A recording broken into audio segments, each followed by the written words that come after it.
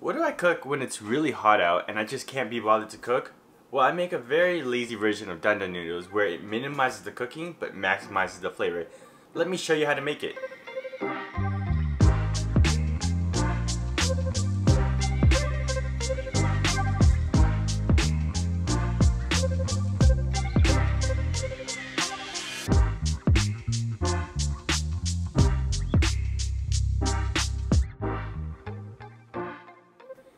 Start things off, I'm going to prepare my toppings. Uh, keep in mind that all of these toppings are optional, so you can have any combination of them or you can have none of them. It's all up to you. Uh, the first thing I'm going to prepare are my cucumbers. I'm going to take my cucumber and slice it on a diagonal uh, into maybe eighth inch thick slices, um, as you can see here. And I'm going to go through that. And then once I have it all sliced up, I'm going to go ahead and slice it down into, uh, I guess, matchstick sizes. So trying to make it as even as possible. The next topping I'm using is cabbage. What I like to do with the cabbage is thinly slice it uh, so that you know it's in almost like a shredded form. Um, what I do with the cabbage is later on when I mix in the noodles, uh, it's going to be thin enough so that it, the sauce for the noodles will dress the cabbage as well and soften it down a little bit. After I have my cucumber cabbage sliced up, I'm going to now slice up my uh, green onion and cilantro. For green onion, all I'm going to do is take it, just kind of the green parts, and slice it on a diagonal. Um, so I have nice small pieces of it. Not too thick, not too thin. And for my cilantro, I'm just going to bunch it up and uh, run my knife through it real quick. It doesn't have to be finely chopped or anything, just uh, you know, a rough chop is fine because uh, this is going to be a topping anyway, so it doesn't need to be like finely minced. What I like to do though with my green onion and cilantro is put it in a bowl and mix it together so that when I go ahead and uh, sprinkle this on top of my noodles, there's going to be an even uh, distribution of the cilantro and the green onion. So once we have all the toppings prepared, we're going to get onto our sauce. Uh, for the sauce, I'm going purely off of taste, so it's kind of hard to give you measurements, but I'll try my best. Uh, the first thing I'm going to put in the bowl is uh, some garlic and some ginger. Uh, for ginger, I use one about this size, I don't know, about an inch. And all I do is grate it into the bowl, and that way it'll kind of like mince up the ginger and kind of release the juices. Uh, same thing for the garlic. I'm using a medium sized clove, and I'm going to grate that in as well. Um, again, grating it will just help it kind of release the juices, um, that way I don't have to do any chopping. Also, the reason why I'm using a piece of garlic that's kind of small is because I'm going in raw. So I'm not cooking it down, so it's not the flavor's not going to mellow out. There's going to be kind of a pungency to it. So if you use a big piece, it's going to give you a big garlic bite. Okay, after both of those are grated in, I'm going to go ahead and add my peanut butter. I'm adding about a fourth cup of peanut butter. So the more you add, the creamier sauce is going to be. The less you add, the less creamy it's going to be. So a fourth cup tends to be where I go with it. The next ingredient I'm adding is soy sauce. I'm adding about two tablespoons and then I'll add more later to taste if I think it's not salty enough. Uh, this next ingredient is dark soy sauce. I'm only adding in a teaspoon and a half because it's not really adding any saltiness for me. It's really adding in color. It's going to give me the dark amber color to the sauce. So you really don't need all that much. Now next is the Chinese black vinegar. I'm not going to even try saying the name because I don't want to butcher the name. I'm going to add 2 tablespoons of the vinegar to the sauce.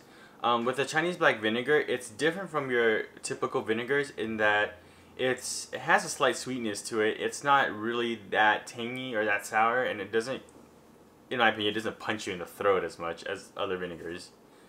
Um, so really try to use this if you can. If you can't use it, I say the next best will probably be some balsamic vinegar that you want to probably dilute down a little bit. For this last ingredient, I'm adding in mushroom powder.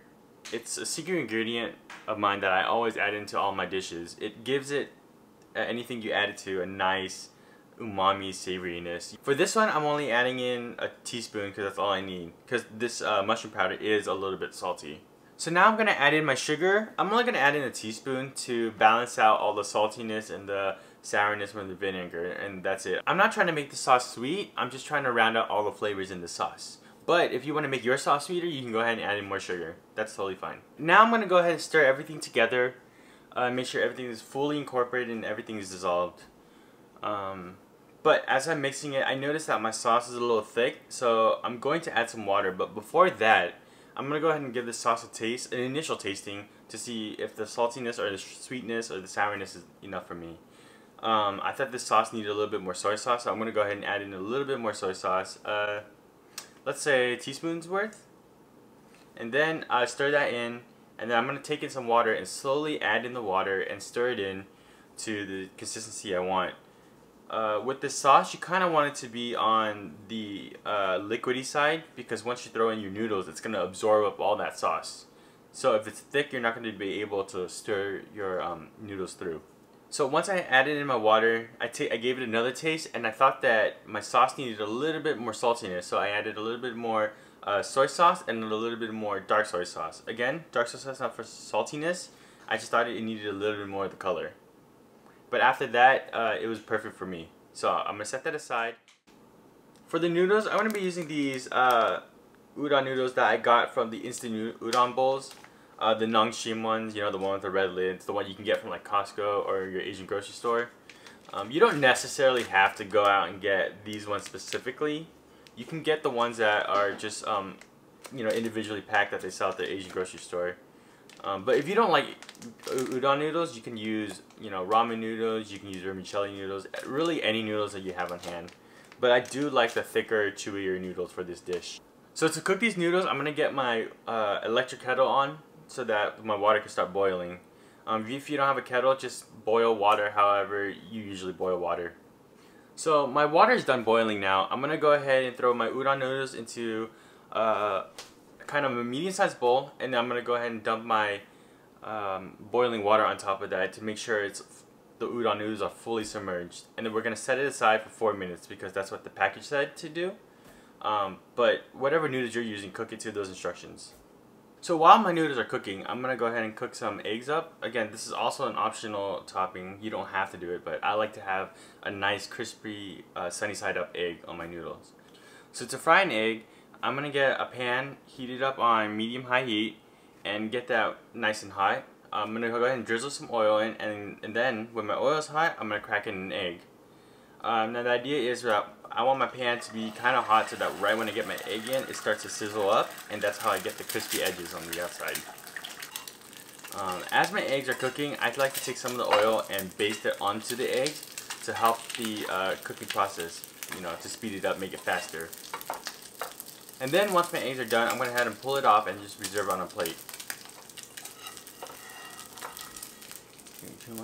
And this time my eggs are done cooking and my noodles are done cooking. So all I have left to do is to assemble them. So let's do it. To assemble this dish, I'm going to start by pouring half the sauce into my bowl.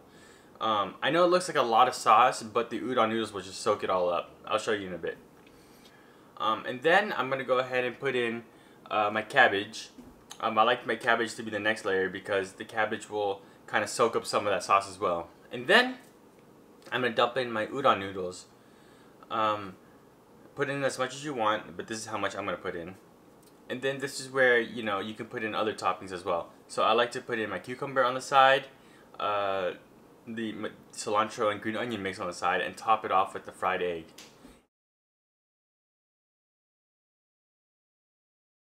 Last but not least, I'm going to add in some chili oil. Uh, mine is homemade, but it's okay if you use some store-bought one. Uh, I, am going to take some of that oil and drizzle all over the noodles and the dish itself, and then take some of the paste on the bottom, that chili flake mixture, and put it um, on the side with my the rest of the toppings. And then, all we have now is a taste test. First of all, egg yolk, runny egg yolk. Oh yeah, look at that. Okay. Alright, let me stir this up. So, this is what I was talking about. See, after I stirred it in, there's barely, know, there's barely any sauce left.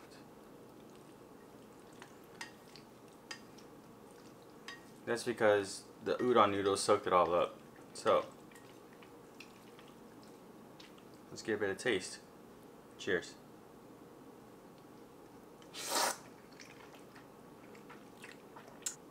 Oh, that's so good. That is so, so good. Alright, one more bite. One more bite.